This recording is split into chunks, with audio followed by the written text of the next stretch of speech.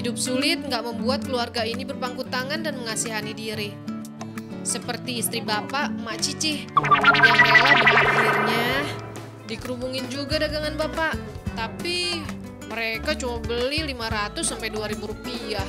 Gongser, gongsernya mantap, gongsernya maknyos. Bagiku nggak sebanding dengan beban pikulan yang ditanggung bapak.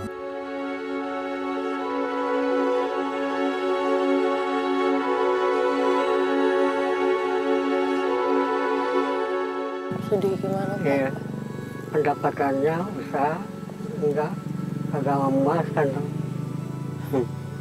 Nggak memuaskan untuk hidupin Iya, cuma sehari pendapatan paling besar 40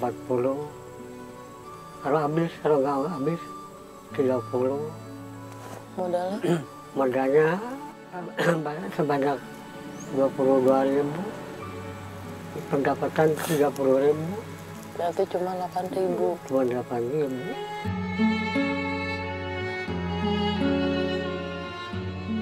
Karena nggak apa makan seharian gitu.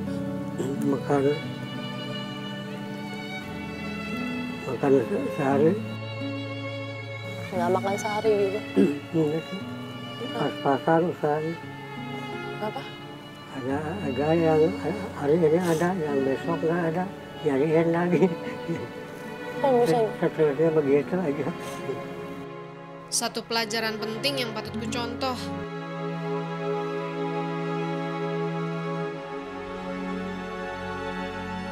Hidup sulit nggak membuat keluarga ini berpangku tangan dan mengasihani diri. Seperti istri bapak, Mak Cicih, yang rela bekerja apa pun untuk meringankan beban suami.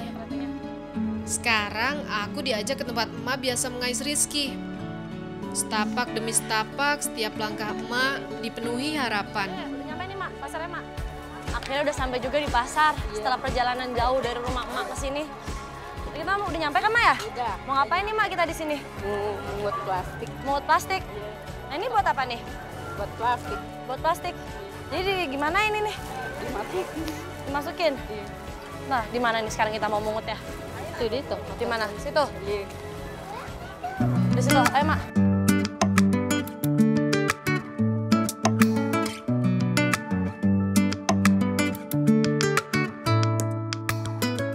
Ternyata emak mencari sesuap nasi dengan cara seperti ini. Oh yang kayak gini-gini nih. Kan pasti kecil juga nggak apa-apa. Cuman tadi kenapa plastik yang kayak gini-gini Eh, mak? Pak ya, iya Pak Haji ya. Ini nih mak, ambil mak. Mak ini kayak gini-gini Iya, ambil. iya. Ini kenapa mesti plastik yang putih sih mak? Kalau plastik kita nggak nggak laku emang? Laku juga. Plastik botol aqua gitu boleh mak? Buat laku boleh. Ini nggak nggak laku ya ini ya kayak gini ya? Oh, oh nih.